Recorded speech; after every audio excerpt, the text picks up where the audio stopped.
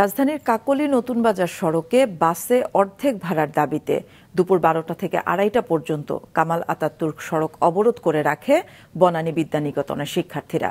এ সময় বন্ধ হয়ে যায় ওই এলাকার যান চলাচল। আরও জানাচ্ছেন ওবায়দুল কবির। দু হাজার ষোলোর আগ পর্যন্ত কাকুলি থেকে গুলশান নতুন বাজার কিংবা গুলশান এক নম্বর পর্যন্ত ভাড়া ছিল পাঁচ টাকা। সে বছর পহেলা জুলাই রাজধানীর গুলশানে জঙ্গি হামলার পর বন্ধ করে দেয়া হয় সব গণপরিবহন। এক মাস পর চালু হয় ঢাকা চাকা নামের নতুন একটি শীতাতপ নিয়ন্ত্রিত বাস সার্ভিস। কাকুলি নতুন বাজার মাত্র দুই দশমিক সাত কিলোমিটার পথের ভাড়া ঠিক করা হয় পনেরো টাকা। এখন যা দ্বিগুণ হয়েছে। বিআরটি এর হিসেবে এই পথের জন্য এসি ছাড়া গণপরিবহনগুলোর ভাড়া দশ টাকার বেশি হবার কথা নয়। কাকলি টু নতুন বাজার ভাড়া ত্রিশ টাকা হতে পারে না। এটা অ্যাবসার্ড এটা এটা কোনো ইকুয়েশনই পড়ে না। আমি জানি না এটাকে কোন সিন্ডিকেট এটাকে এটাকে মেনটেন করে। এখানে কয় কিলো এখানে দেখেন এখানে সর্বোচ্চ এখানে দেড় কিলো। সর্বোচ্চ দেড় কিলো। কাজে এখানে ভাড়া দশ টাকা হওয়া উচিত। যতই এসি বাক হোক যতই যাই হোক কিন্তু এরকম তো মানুষের থেকে সাধারণ মানুষ থেকে এরকম ভাড়া নেওয়া পসিবল না। শীতাতপ নিয়ন্ত্রিত সেবার দোহাই দিয়ে এত অল্প দূরত্বের শিক্ষার্থীদের জন্য পাঁচ টাকা ছাড় দিয়ে পঁচিশ টাকা নেওয়া হচ্ছিল।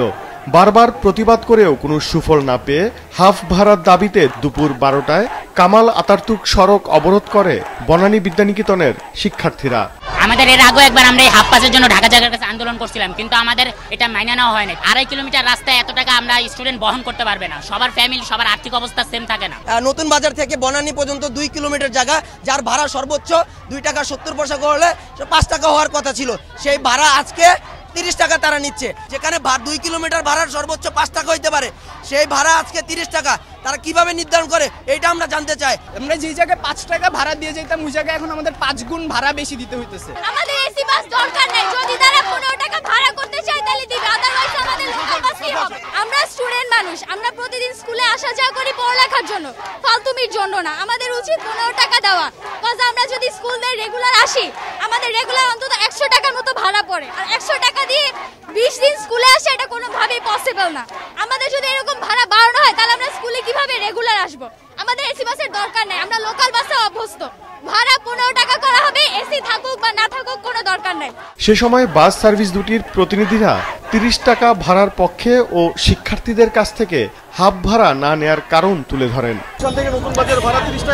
কীভাবে হয় এটা আপনি ওইভাবে প্যারামিটারে ই করতে যাবে না আমাদের তো এসি বাস আমাদের অনেক সমস্যা আছে ঠিক আছে? আমাদের মেনটেন্যান্স কস্ট অনেক বেশি। গার্ডিয়ান পঁচিশ টাকা ভাড়া দেয় ছাত্ররা কিন্তু ফিরে যায়। এটা মিনিমাম সত্তর পার্সেন্ট ছাত্র ফিরে যায় আমাদের এখান থেকে। পরে বনানী বিদ্যানিকেতনের শিক্ষার্থীরা স্কুল কমিটি ও বাস সার্ভিস দুটির প্রতিনিধিদের সাথে বৈঠক শেষে বৃহস্পতিবার পর্যন্ত তাদের আন্দোলন স্থগিত করে সড়ক অবরোধ তুলে নেয়। ওবায়দুল কবির মাছরাঙা সংবাদ ঢাকা।